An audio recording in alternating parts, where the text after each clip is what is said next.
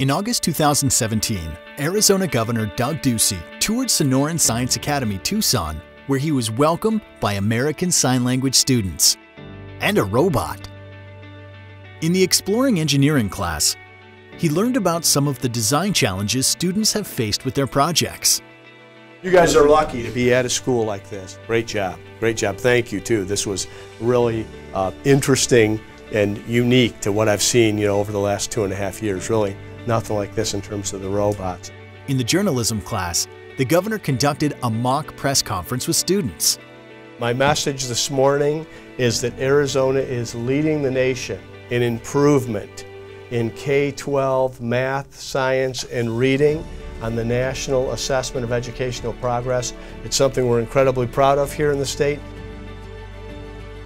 Next, he visited an advanced art class, where one student's life drawing surprised him. You know, so fortunate to be at a school like this that allows you across the board education. He enjoyed viewing the solar eclipse with a class of sixth graders and spent time with Arizona's first and only World Robotics Champions. He was even able to drive the World Championship winning robot.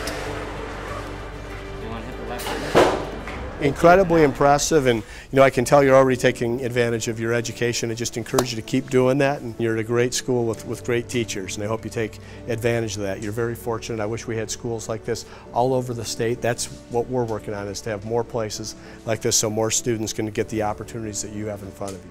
This is something that's, that's working. We need to do it more often in more places for more of our kids. It doesn't work with, without leaders and teachers like you have here though.